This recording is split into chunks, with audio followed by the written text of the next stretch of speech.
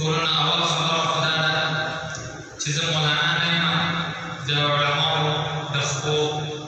یو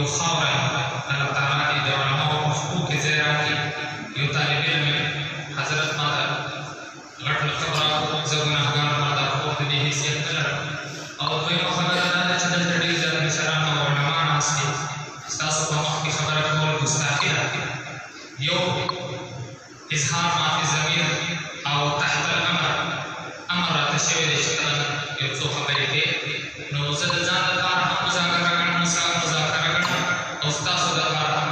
الله تعالی دې اول او مهمه د قدم خبرو باندې د عمل کولو توفیق راکړي او بالخاص د صحیح د زړه د کوهې د زړه په غوږونو باندې د اورېدو او هغې باندې د عمل کولو کوشش وکړو خبرې نن سبا